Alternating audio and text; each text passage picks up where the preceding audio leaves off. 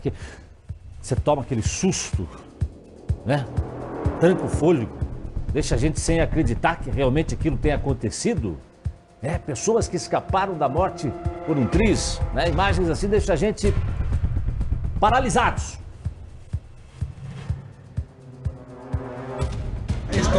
Flagrantes de perder a cabeça, ou quase. Um resgate dramático. Um passeio involuntário. Outro em alta velocidade. Ah, não perca os trilhos. O quase morri já está a todo vapor. Imagine só, você aí sentado no sofá de sua casa, quando de repente uma locomotiva invade a sala. Pois foi o que aconteceu em um cruzamento tranquilo da cidade de Rolândia, no Paraná. O caminhão não freou no semáforo vermelho. Com o impacto, a carreta é arrastada e desaparece na imagem. Esta outra câmera mostra quando as duas locomotivas e três vagões saem dos trilhos e tombam. Um deles ainda atinge o poste. No momento que houve a colisão, é, a locomotiva, segundo o maquinista né, que estava né, nesse trem, ele chegou a dar um pulo, um salto. Né? Então, ele, nesse salto, o, a roda saiu realmente do, dos trilhos e começou a descarrilhar. A locomotiva destruiu o muro, derrubou o portão e invadiu a sala desta casa.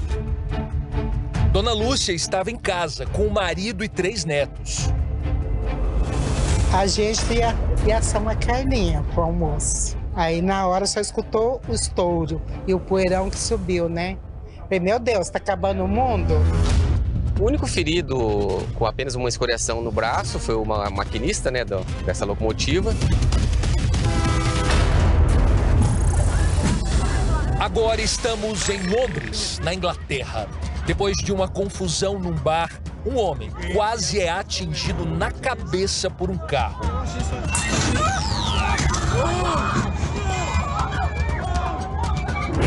Durante uma briga, um grupo de pessoas cerca o veículo vermelho. De repente, o motorista engata a marcha ré para fugir. Ele atinge um outro carro estacionado e capota. Repare só que durante a manobra, um homem estava encostado num veículo cinza. Ele escapa por muito pouco da batida. Agora você pensa que acabou? Não, não parou por aí. O carro vermelho capota, quica no chão e por pouquíssimos centímetros não atinge a cabeça do mesmo rapaz. A imagem é impactante. Em uma fração de segundos, ele escapou da morte duas vezes, sem nenhum ferimento. Olha esse flagrante registrado em Franca, interior de São Paulo. Dois homens ficaram pendurados no alto de um prédio de 20 andares. O cabo de aço do elevador da obra, onde os dois trabalham, se soltou. Os funcionários ficaram pendurados a 100 metros de altura. É possível ver um dos homens segurando apenas o cabo de aço. Apesar do susto, os trabalhadores foram resgatados e passam bem.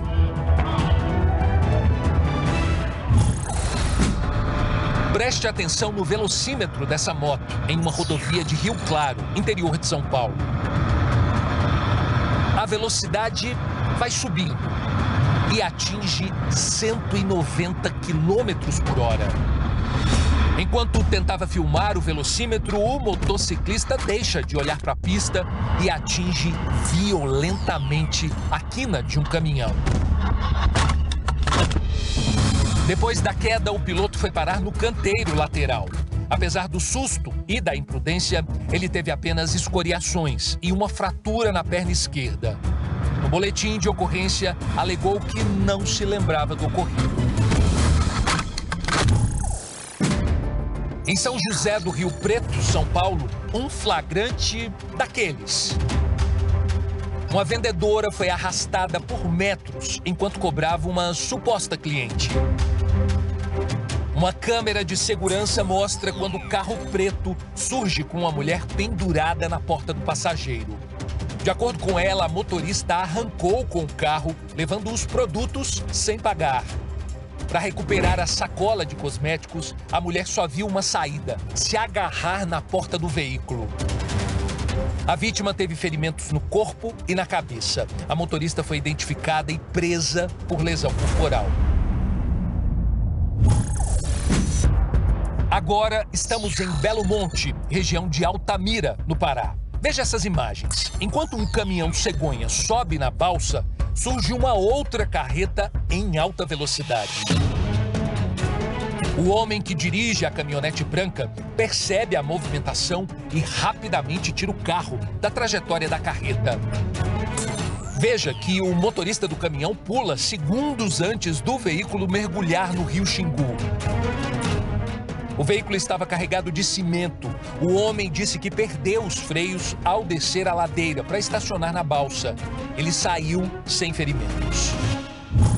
Agora uma prova de amor na principal avenida de Búzios, no Rio de Janeiro. O rapaz, chamado Jonathan, atravessa a rua com a namorada. Ao perceber o carro vindo, ele empurra e salva a moça e é atropelado no lugar dela. A irmã de Jonathan viu tudo. Só ouvi, né, a Vitória gritando, o apelido dele, o Paul. Aí assim que a gente olhou para trás, ele já tinha sido arremessado no carro, né, que atropelou ele. O homem não prestou socorro, passou direto. É uma imagem impressionante. Jonathan é atingido, arremessado para o ar e arrastado pelo carro branco em alta velocidade. Logo quando eu despertei no hospital, eu não consegui lembrar do meu nome, não consegui lembrar do que tinha acontecido e tinha esquecido até da minha família. Ele teve cortes na cabeça, escoriações pelo corpo e fraturas no tornozelo.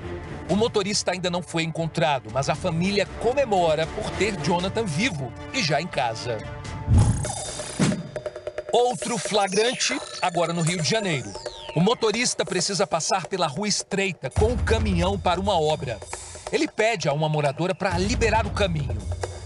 Então, liga a betoneira e desce da cabine. O caminhão começa a se mover.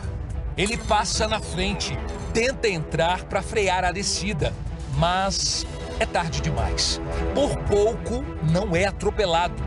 A betoneira desce a ladeira desgovernada e em alta velocidade. Atinge o carro branco, depois invade uma casa. Por sorte, ninguém se feriu. Agora um registro desesperador que veio lá de São Tomé, no Paraná. O carro azul desce sem controle. Dentro dele, uma criança de 8 anos que está sozinha.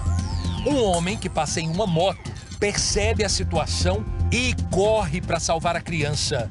Ele pula dentro do carro em movimento e puxa o freio de mão. A criança e o motociclista estão bem.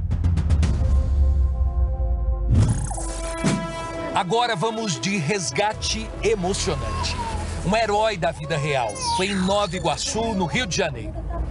Uma enxurrada arrasta um carro que só para ao bater num ônibus.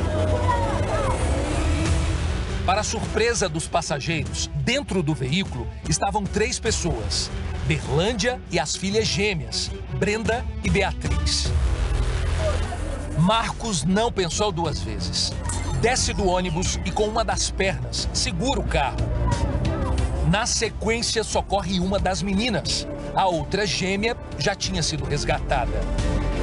E agora é a vez de Berlândia, que também é salva. Segundos depois, o carro desaparece em meio à correnteza.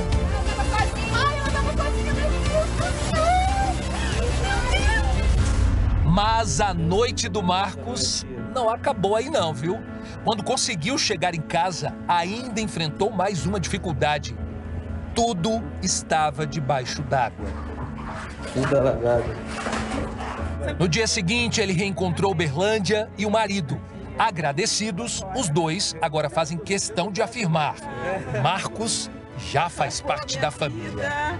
Né? Deus enviou ele para salvar minha vida e das minhas filhas. Graças a Deus. Aí, o paizão também. Graças a Deus ganhei mais um filhão. Esse é meu filho agora, hein?